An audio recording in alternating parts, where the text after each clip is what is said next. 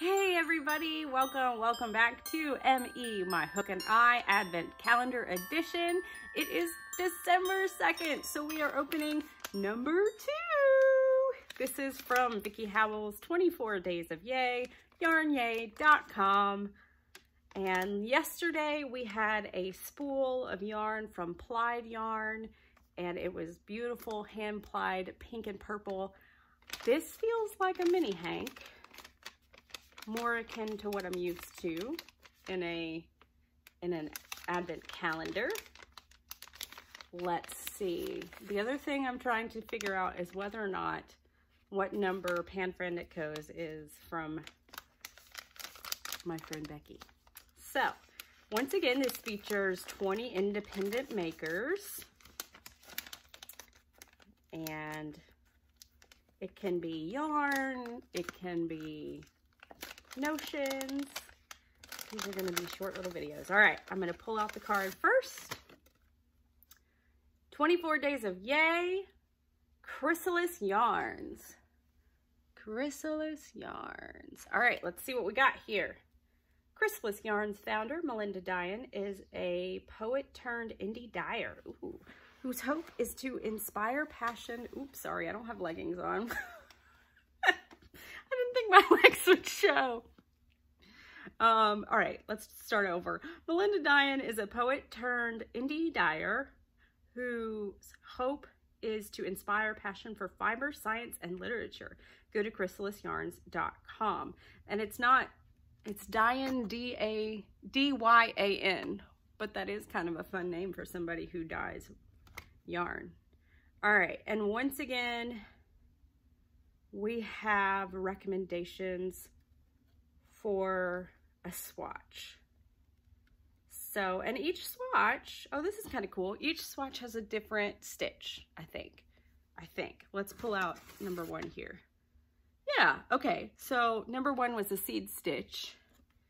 Number two is a crossover stitch. So I wonder if you're going to end up with squares kind of the same size when you swatch. It doesn't necessarily say yet, but we shall figure that out as the month goes on. Because that could be cool to have like a mini swatch blanket of all the stitches that you tried. Let's see. Ooh, this is super soft. Oh my, oh my, that is super soft. Okay, let's see what we got. So this is a Fosse DK Mini, 70% baby alpaca, 20% silk, 10% cashmere. No wonder. Oh my goodness, no wonder. Chrysalis Yarn Co. And the color is Trim the Tree. It's like a beautiful deep green teal color. And oh, yes. Yes, yes, yes, yes, yes. And you know what? It says it's DK, but I would say that's almost a four. And I love it when indie dyers do weight that crocheters can use because a lot of indie dyers I feel like do a lot of sock weight and fingering weight. So yay for Chrysalis Yarns.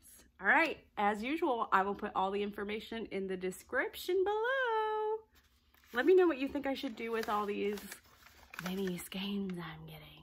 I'm kind of liking the idea. We'll see what our next stitch is next time. Because I don't know a ton of, I don't know a ton of stitches. So I will link this in the comments below. Go check her out, Chrysalis Yarns. That is so soft. Hello, day two. This yarn was crossover stitches and honestly, this yarn was a delight. It is still super duper, super duper soft. I, out of all the yarns I have swatched, this is one of the ones that I am most likely to go buy with my own money. Part of that, I think, is because it is, um, it's a, where did I, did I lose the thing? It's a silk. It's got silk in it, and you can totally feel it's got silk in it.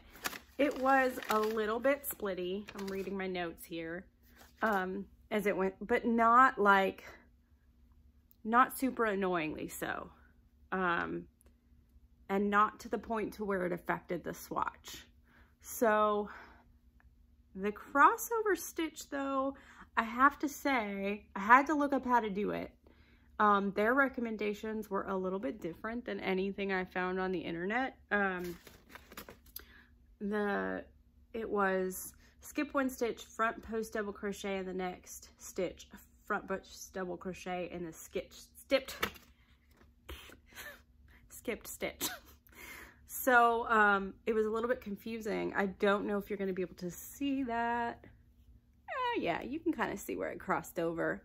Honestly, I didn't feel like their swatch recommendation recommendations really did the best job at, at showing off this yarn. I purposefully did not cut this because I fully intend to frog this and find some other use for this beautiful I mean, the color is gorgeous. The fiber content is outrageously delicious.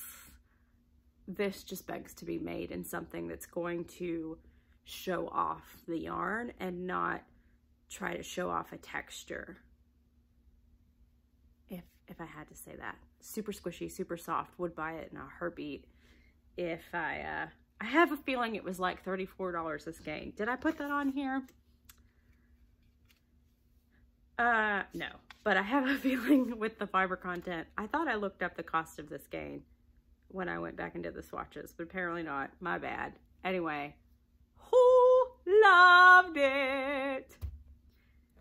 Thank you to Chrysalis Yarns.